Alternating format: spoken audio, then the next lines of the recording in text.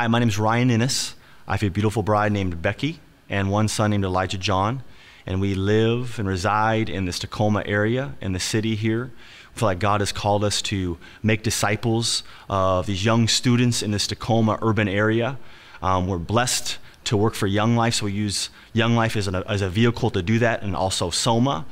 Um, so we're just excited to be able to uh, share the good news of Jesus through both of those incredible vehicles, through the missional community concept, and also just be able to preach the good news of Jesus in everyday life. So in this season, Becky and I have learned just the importance and the vitality of being present.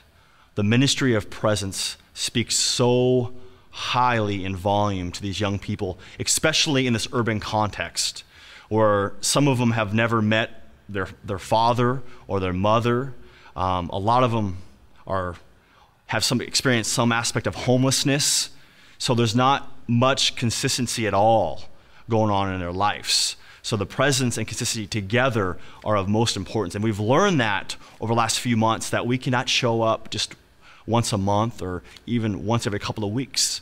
That we need to be in their lives, whether it's in the weight room, lifting weights with the football team, or it's in the hallways at school, whether it's being present after school, just by showing our face and saying a few encouraging words, it just, it just speaks volumes of why we're here, how much we care, and that actually we want to, to know them and love them and serve them well.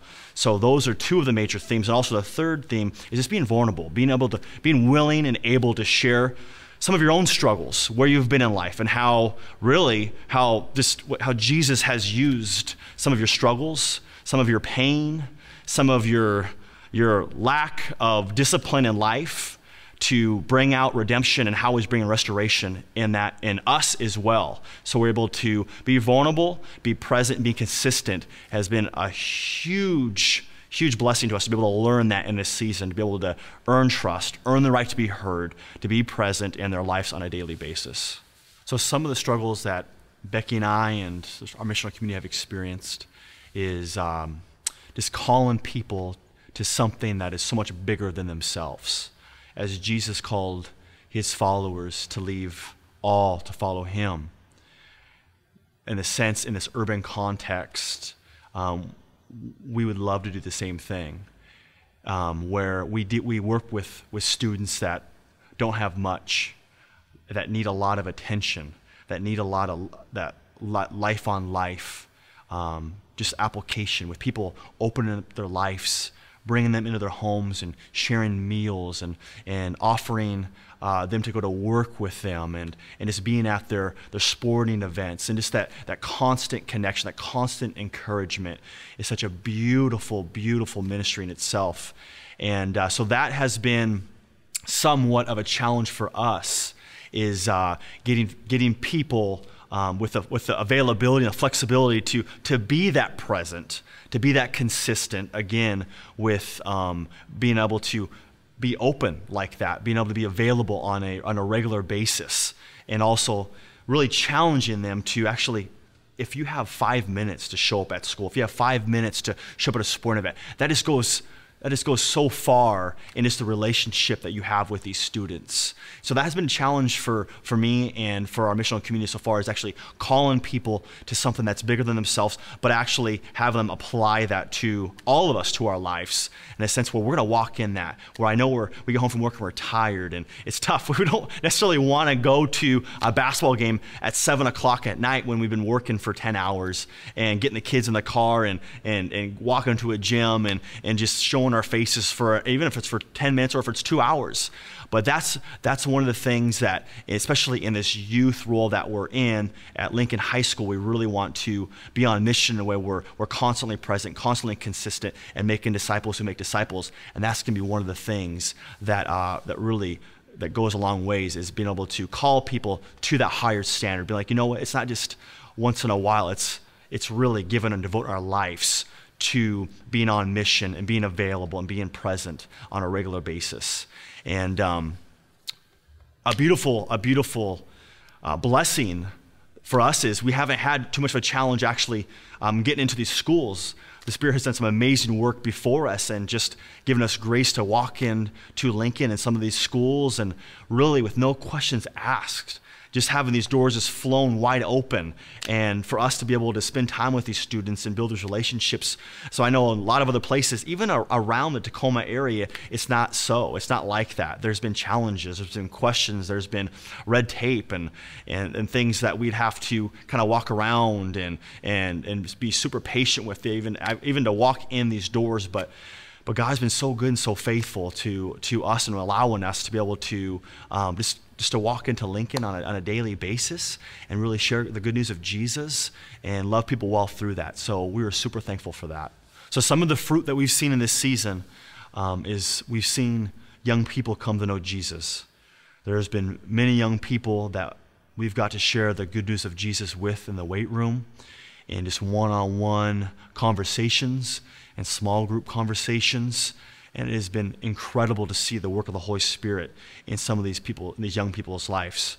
Um, just recently got to share Jesus with a Muslim student that was in the weight room, and he has now been asking asking questions. Okay, so who is this Jesus? How I mean, how what does it look like to follow him? What is is this really true? What does this look like for me in my family? That I've, I've I, all I've heard of is something different who Jesus is, but who but I, I, but from you I'm hearing something that is so that is so powerful and so different than what I've always heard. And so that has been some of the amazing fruit we've seen thus far. So this next school year, we'll be starting MDNAs, which will consist of four to six students and maybe one or two adults. And that's a little bit different than our DNAs because usually it's one adult with three adults. And the reason for that, we just feel that it might make it a little easier for students to feel comfortable at a faster rate opposed to coming to a relationship with an adult and there might be one or two students like, oh man, I don't know if I really super, feel super comfortable with this. So we're to start off with a little bit uh, higher numbers to make it a little bit easier for kids to be comfortable and hopefully they can be more transparent through that. The reason why we do that. And uh, we're excited to have and start MDNAs because we're just we're excited to be able to share Jesus, the entirety of the gospel, to teach gospel fluency, to, to talk about the story of God. Um, and some of our some of our students have never heard the story of God, never, has never really truly heard just the good news of Jesus, just the life, death, and resurrection, what that means for them. They have they may have gone to church for for different seasons of their life, for long seasons of their life, but never really truly heard the true, the good news of what Jesus has done. And so we're excited to uh, to see young people come to know Jesus and the truth about Jesus and be filled with the Holy Spirit. And so that's the main reason why we're starting these MDNAs. So to really teach um, just what the Bible is and what it, what it says and who we are in light of, of what God has done and, and, and to really bring kids to worship Jesus through that. So we're very excited for this season coming up. So if I could leave anybody with any advice, it would be to lead your community, your missional community, um, in prayer, being constant prayer, uh, just asking the Spirit to continue to go before you and your community as you make disciples in this high school context. That it's His work, it's His transforming power that does all the work. And we're just so blessed to join God in the restoration of this work. And secondly, students desperately want to be valued, they want to be known, and they want to be loved. So I would, I would constantly encourage people and remind remind people and help, and hope to remind myself that, you know, for the power of the gospel, for the power of sharing the good news of Jesus, that students would know that they are known, that they are valued, and they are loved because of what Jesus has done for them. So that's the advice I would leave is to consistently be in prayer, consistently have students know that they are known, that they are valued, and they are loved by this God that we are professing or proclaiming, and we are living out by word and deed.